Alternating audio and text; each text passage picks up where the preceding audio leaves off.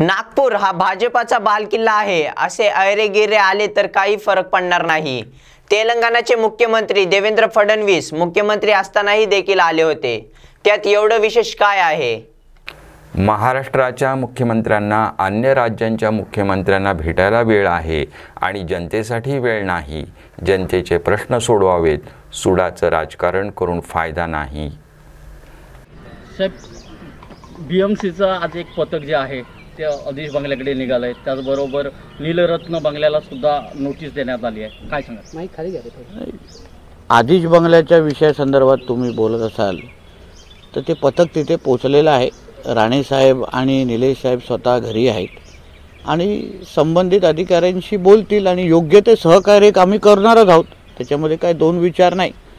दुसरा मुद्दा असेल की नीलरत्नबद्दल अजूनपर्यंत आमच्या हातात कुठली नोटीस आलेली नाही. हे तुम्ही विचारताय की तुम्ही बोलताय की आम्हाला नोटीस मिळालेली आहे. तर जोपर्यंत कुठली नोटीस आमच्या हातात येत नाही तर त्यानुसार आम्ही त्याचं उत्तर देण्यासाठी तयार आहोत. त्याच्यात काय पळण्याचं किंवा दुसरा विचार करण्याचं कारणच नाही. एकदा नोटीस आली तर त्याचं उत्तर आम्ही देऊ. आदित्य ठाकरे पण ते नेमकं केंद्रीय मंत्रालयावरून आलं आहे की राज्याच्या पर्यावरण अ, मंत्र्याकडून तिथे पोचलेलं आहे. त्याची जरा तपासणी आम्ही करतोय.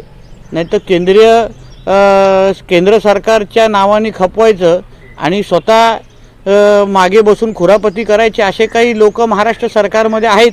म्हणून योग्य माहिती आल्यानंतर त्याच्याबद्दल बोलू. केंद्रीय